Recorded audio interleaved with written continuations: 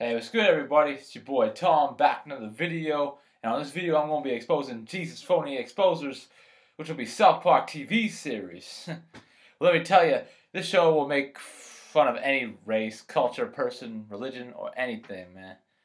This is straight blasphemy in one of the episodes of South Park where people falsely expose Jesus Christ for doing miracles by taking drugs and not using his own divine powers from, from God. When I watched that episode last year, I was just thinking to myself, unbelievable, unbelievable, man. I can't believe how much they uh, gotta make up lies on Jesus and be so damn disrespectful to my Lord and Savior Jesus Christ and on who the God really is and just be friggin' God haters. But yeah, I only seen the episode once last year and it came to my mind over a week ago feeling that God led me to the idea of doing this video. But let me tell you, South Park people, you never heard of Jesus doing drugs to do miracles or even lived or even lived in his time when he was walking the earth. So you have absolutely no right to falsely judge someone when you don't even fully know them. Y'all need to repent because y'all are gonna have to really pay for that. Like I don't get why uh, you people gotta have a problem with God and just be hating on him, on him, and really try to like blaspheme against him as much as you can. We don't even realize that God's got the power to, like, to give you the worst torment and suffering in hell for eternity, and uh, you don't want that because trust me, you'll regret it. I never had anything against God or Jesus, even when I was living worldly and secular most of my life. I feel God's been looking out for uh, for me, looking out for me, and slowly growing through each step of the way to know more about God and His universe, and slowly coming to His kingdom, for His purpose on my life. But back to the topic of South Park. Even in two episodes, I never approved of them making God look like this dirty rat. As I'll show you a quick image of how they make him look. Okay, and God would not look like this because he can look like however he wants, even though we've never seen him before. Because Satan can also appear in different looks. As the Bible says, he can come disguised as an angel of light to deceive folks. They also make Satan look like a queer, and they uh, also make him act like a rich, spoiled teenage girl on that show. South Park making Satan look gay is side, because Satan do got gay demons that work for his kingdom to demonize people and making them gay. And even my friend uh, Chris Sale told me on that show that they made God's angels look like weak sissies and pansies. And shout out to Chris A- to Chris Sale again, and keep that good attitude you got, because you're awesome as well, my brother in Christ.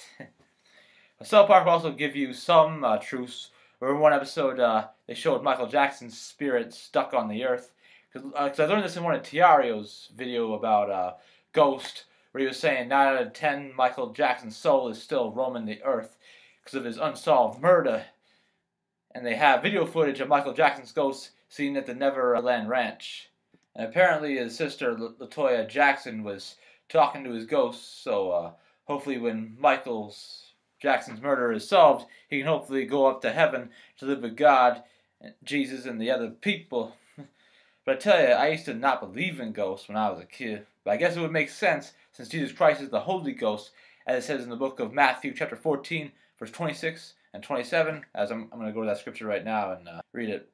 Alright, so uh, Matthew chapter 14, verse 26 and 27, it says, uh, When the disciples saw him walking on the water, they were terrified, and they fear they cried out, It's a ghost. but Jesus spoke to them at once. Don't be afraid, he said. Take courage, I am here. So that tells you right there. And if your soul is trapped on the earth, then you're considered a ghost. But I thought uh, when you died, you either go to heaven or hell right away. But before I used to think of that, I did have thoughts thinking after some people die, their soul's going to be stuck on the earth. As I think I had this dream about it before a long time ago. So I guess my old thoughts were right. and all this information that I'm giving y'all is is in the Ghost book that my friend Tiario was uh, revealing to us in his video about Ghost. But that makes sense of people getting punished differently and going to different areas of places after they die, depending how the person lived life on Earth. Because I've heard some Christians say everyone's going to suffer the same in hell due to due to the fact of all sins being equal. I mean, come on, yo. There's different areas in hell where people suffer differently depending how bad their sins were and how they lived their lives. it just makes sense that way because our true God is a righteous judge.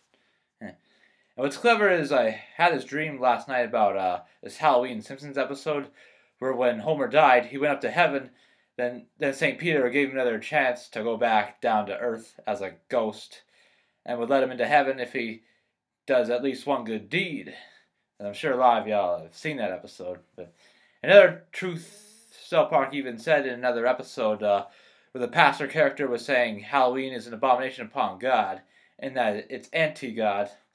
And that is true because Halloween is obviously demonic when you look at it, when you look at how it is with all these demonic spirits, which is another satanic crap that Halloween pushes, where people be dressing like where people be dressing up like demonic creatures. And, and I did a past video talking about exposing Halloween. I can't believe even Christians celebrate this stuff. Or one Christian says Halloween is not evil like it used to when it started off. Basically saying it's not evil anymore. It's got better. Nah, man, it's still evil like when you look at it with an open eye. Nah. And Jesus Christ never celebrated Halloween back then. And I'm glad to see real people of God not being of it. But anyway, I hope I blessed y'all with this information, as I'm always glad to do videos to be a real blessing to a lot of you guys. As we gotta continue to be blessings to each other, since God's about staying connected and bringing people together. As my attitude would be screw segregation.